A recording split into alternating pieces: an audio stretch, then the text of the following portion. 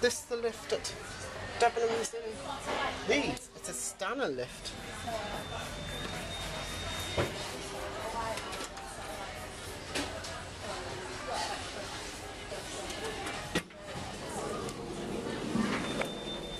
Go down to lower ground level. Door if I push the button. I like that. Capacity 630 kilos, 8 persons, built in 1998.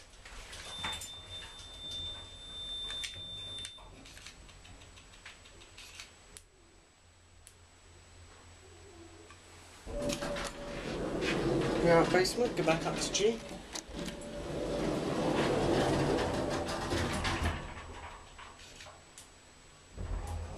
Only one of the six lights is working.